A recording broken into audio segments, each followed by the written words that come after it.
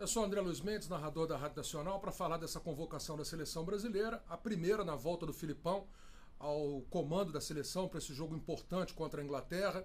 E eu prefiro falar do que eu acho que não apareceu. Acho que o Kaká deveria estar na seleção brasileira, porque é uma incoerência você deixar o Kaká de fora e trazer o Ronaldinho Gaúcho. Se o Filipão garante que o Ronaldinho Gaúcho vai para a Copa do Mundo, eu acho que ele ainda tem caixa para a seleção pelo que apresentou no Campeonato Brasileiro. Longe de ser aquele Ronaldinho que nós gostaríamos que fosse, não será mais, mas ainda pode produzir um pouco para o futebol brasileiro. O Kaká não sei porque não está. A volta do Júlio César. Esse Davi Luiz dá muita segurança ao sistema defensivo da seleção brasileira e vai acabar virando um volante com Paulinho, um, um homem como fez o, Ed, o Edmilson na Copa do Mundo.